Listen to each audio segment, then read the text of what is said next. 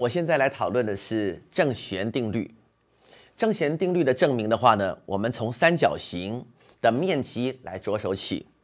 我们来看看这个三角形 ABC。来，三角形 ABC 的面积，我们的话呢列出来。三角形的面积的话呢是怎么算呢？是两边夹一角，二分之一 AB sin C。我们也可以从这个角度来说，是 BC sin A，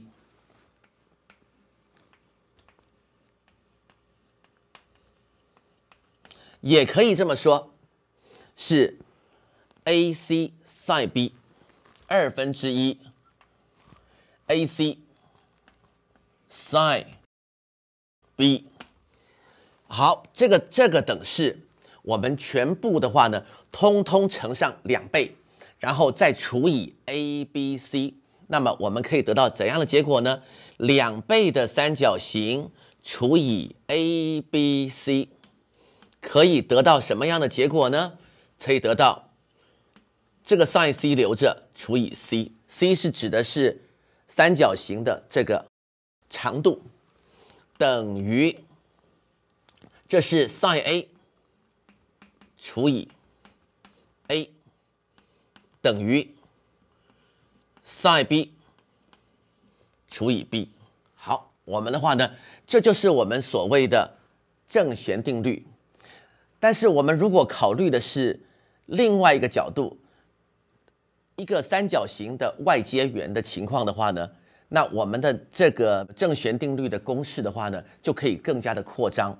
来，我们来讨论一下。有外接圆的状况，好，我们现在来看一下外接圆，它并不会困难。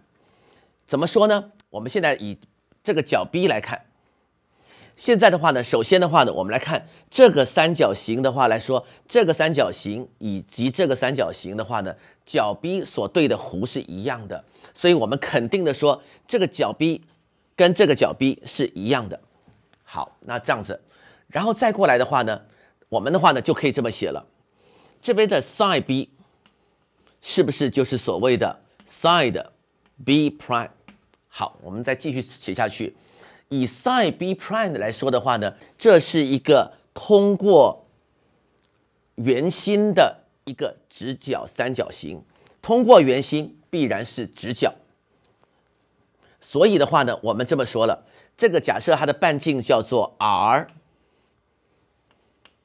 那么这个斜这个斜边就是二 r，那它的对边就是 b，那我们就怎么写呢？来，我们写出来是斜边分之对边，二 r 分之这个对边是 b。